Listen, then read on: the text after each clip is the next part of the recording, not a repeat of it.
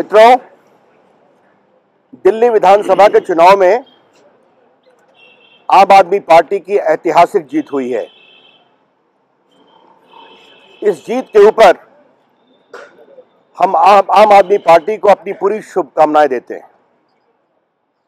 उनके नेता श्री अरविंद केजरीवाल का अभिनंदन और हमारी बधाई।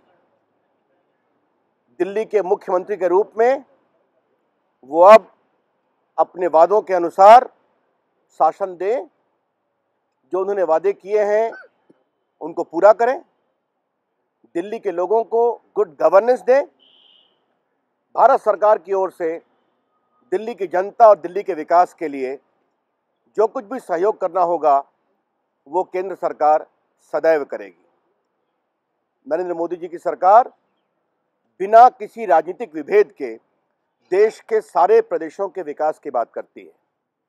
और वही सिद्धांत दिल्ली के बारे में भी लागू होगा, ये हम निश्चित रूप से स्पष्ट करना चाहते हैं। जहाँ एक और पिछले लोकसभा के चुनाव में हमारी ऐतिहासिक विजय हुई थी देश में, उसके बाद महाराष्ट्र में, हरियाणा में, जम्मू कश्मीर में और झारखंड में। वहाँ की जनता ने हमारे आग्रह पर भारतीय जनता पार्टी और नरेंद्र मोदी जी के साथ चलने का निर्णय किया।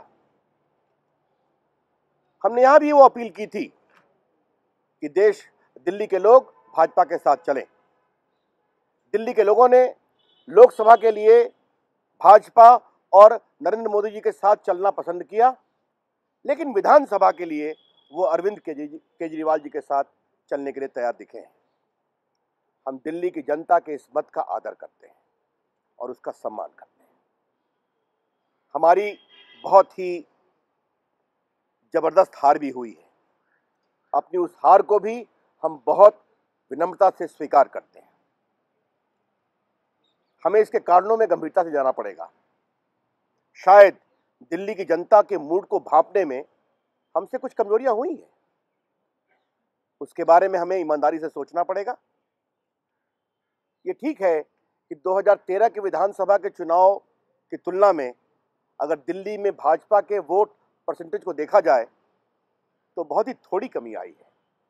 लेकिन हमारी हार तो हार है और उसे हम बहुत ही विनम्रता के साथ स्वीकार करते हैं। पार्टी इस हार के बारे में विस्तार से इसकी परख करेगी, इसकी समीक्षा करेगी, लेकिन बीजेपी के अंदर हमारे कार्यकर्ताओं की, हमारी पार्टी की तमाम विरोधी परिस्थितियों के बावजूद दोबारा खड़े होने की हिम्मत रहती है और मुझे पूरा विश्वास है कि दिल्ली के हमारे कार्यकर्ता, यहाँ की जनता के विश्वास को प्राप्त करने में सफल होंगे। हम एक सार्थक विपक्ष की भूमिका निभाएँगे दिल्ली में, जहाँ सरकार को सहयोग देने की अपेक्षा होगी, दिल्ली की भाजपा देगी जहाँ सरकार का विरोध करने का क्या क्या आवश्यकता होगी, पूरा विरोध भी करेगी।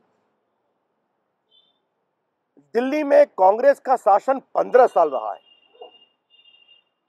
और पंद्रह साल के शासन के बाद कांग्रेस पार्टी को एक भी सीट नहीं आना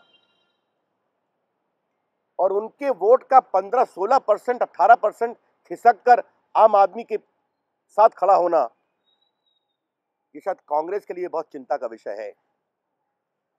कांग्रेस को अपनी बात स्वयं सोचनी है, लेकिन कांग्रेस पार्टी देश की सबसे पुरानी पार्टी है। वो कितना सोचेंगे, ये मैं उनके विवेक पर छोड़ता हूँ। जहाँ तक हमारी पार्टी का सवाल है, हमारी समीक्षा ईमानदारी से होगी, और इस परिस्थिति का निराकरण के लिए जो भी उचित होगा, पार्टी अवश्य कदम उठाएगी।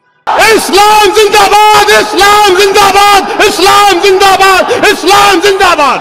हैदराबाद की धरती पर एक नया देहाती कुत्ता पैदा हुआ है।